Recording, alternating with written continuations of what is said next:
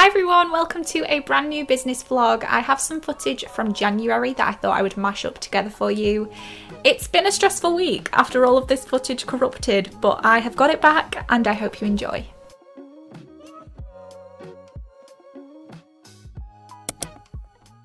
I've decided I want to switch out this wall hanging right here for something new. I think the colours just need updating. The other week I posted a tutorial and pattern for this so I'm gonna just use my own pattern and make myself a new one.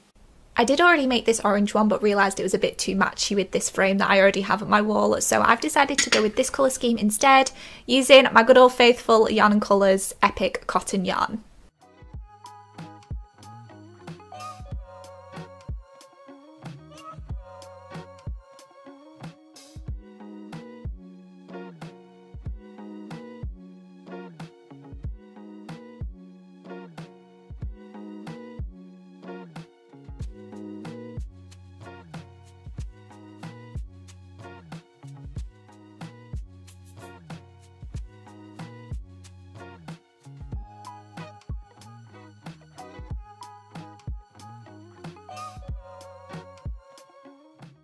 Just thinking about what colour I want to make the single crochet border around this. I was going to choose orange but I feel like it might get lost when it's hung up on my wall.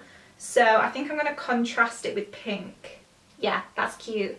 Okay, let me add some tassels, attach it to one of these bamboo wooden rods that I have, and then it's ready to hang up. Oh, and obviously we've got this situation to deal with off camera.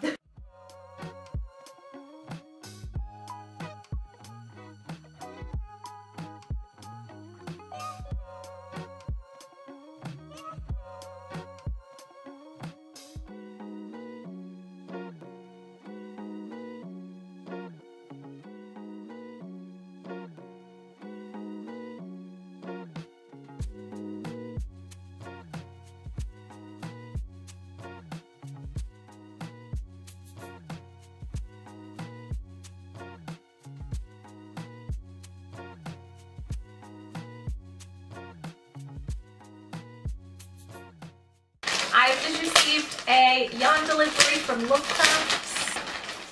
I ordered some yarn because I'm in the middle of a pattern update for this project right here, which I call the Paisley waistcoat. Lovecrafts accidentally sent me double knit instead of Aran weight, but they were really nice about it. They said keep that one and we'll send you out a new one free of charge. But I thought I would just show you the colour combination together. So I've gone with cream, this denim blue and a pastel yellow.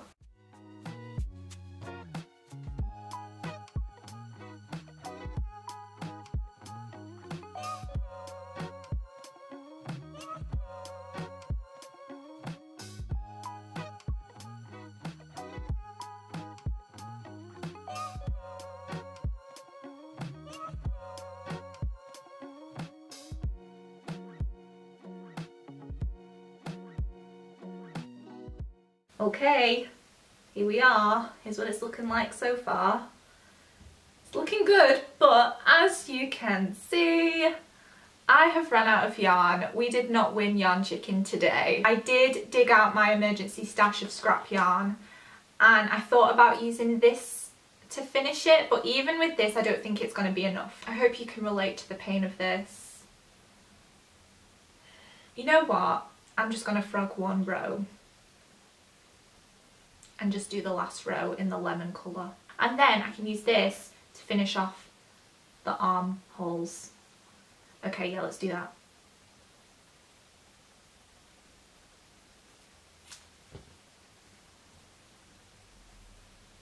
The majority of this pattern now has been written.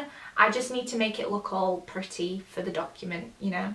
And obviously finish taking some last minute pictures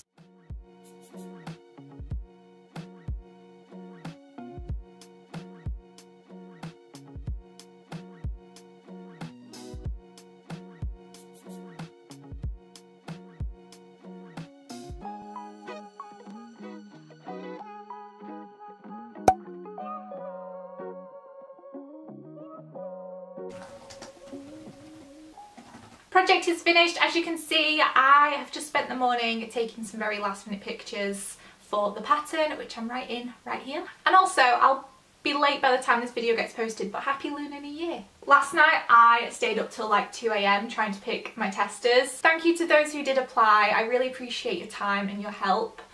Obviously, I can't pick everyone because I need to make sure that certain sizes and criteria are met to make sure I get a good mix of people. Let me take you back to the top.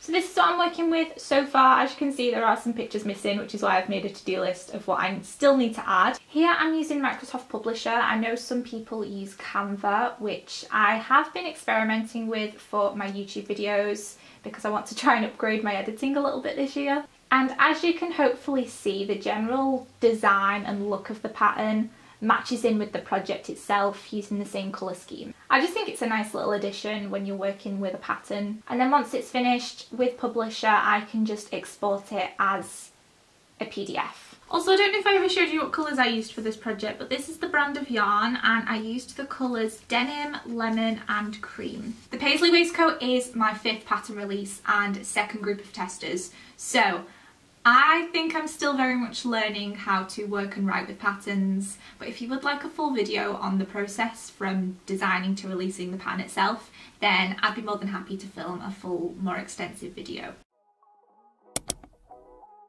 Okay, welcome to this segment of small crochet business supplies update 2023. I'm not here to gatekeep, I want to help out as much as I can because I know a few of you have said that you're starting crochet businesses.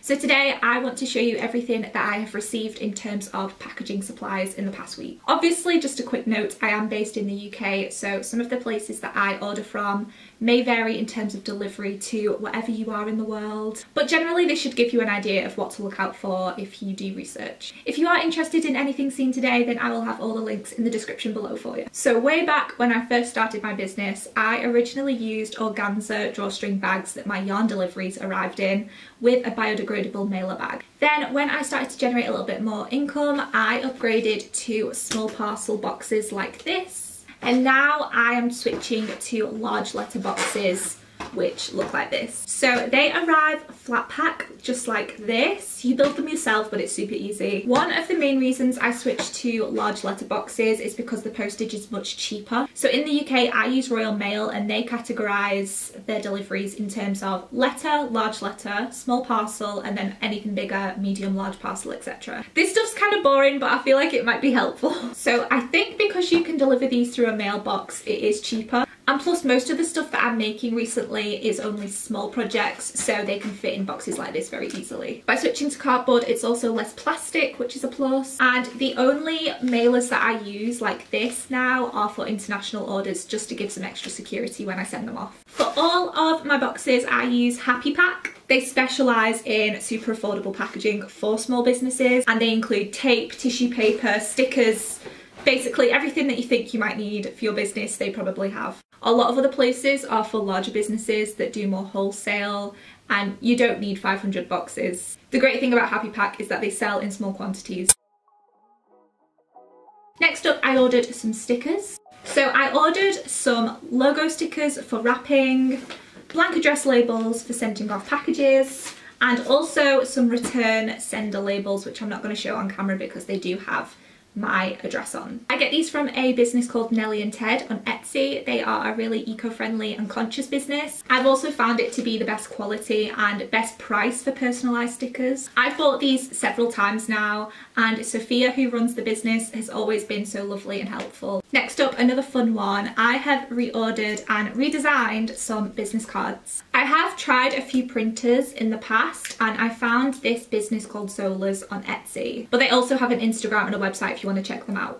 So I just ordered 20 of each because it was a new design. I wanted to see what it looked like. The first is an empty thank you card with some washing and care instructions on the back. And then for the first time, I also want to include more of like a decorative card with my orders. So I designed this illustration myself and I'm really happy with how it turned out. Considering I'm not a graphic designer, I'm pretty proud. Stuff like this for me is all about making slow upgrades with my packaging with every milestone that I make with this business. And finally, this is probably the most exciting one, but I reordered some fabric clothing labels. Just like the boxes, I did lots of research to finally find the ones that I love. These are from a company called Contrado. They are satin fabric labels, so vegan friendly. And again, you can order small amounts of these, so it's not going to be that expensive. And they're really cool. Whenever I have ordered from them, they always give me a few extra labels for free and you can get 10% off your first order as well. I found that they're really easy to sew with. So this is a, I think it's a 35 millimeter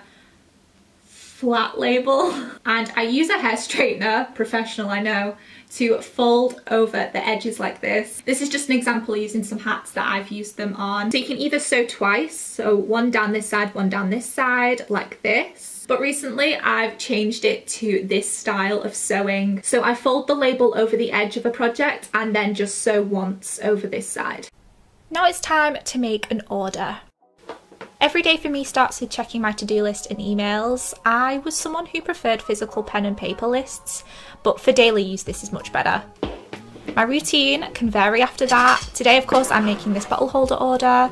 Some days I'm on my laptop all day writing and editing. Someone asked if I had any tips for balancing this business with study and other things and to be honest, I left school a very long time ago, but in the past few months I've been studying from home for something non-crochet related. Most of the time it was a case of finishing my crochet day, having something to eat and then completing a module before bed. Using that same to-do list app, I was able to plan when I would complete modules. Usually it was two to three a week so I could reach a deadline I'd set myself. So I guess my simple advice is to plan your time well and be honest with yourself. If I know I'm not going to feel like working at a certain time of day, then I won't plan to. I guess that's also a perk of being self-employed. My business has changed quite a bit from my last business type video. There's now a lot more pattern writing because I found my audience was mostly crocheters, so I'm just adapting to what they would like to see. And to be truthful, it's also earning me more money than selling physical items. So I'm going to work towards what sells best because it is a business. So I've taken away my made to order products, but custom orders are still open. Last summer I worked really hard on the made to order products, but I don't feel like I'm taking a step back by getting rid of them. Don't be afraid of changing your business strategy again and again if you're finding what works for you, or just generally feel like your crochet business needs a boost. I'm learning that change is good, and for me, it equals growth. This year, expect more patterns from me. I've also got some goals for my YouTube and videos, and I'm hoping for some change in my personal life as well. I hope you enjoyed this chaotic mashup today. If you did, give it a thumbs up and subscribe for more. And thank you as always for your support of this little crochet business. Take care, I'll see you in the next one.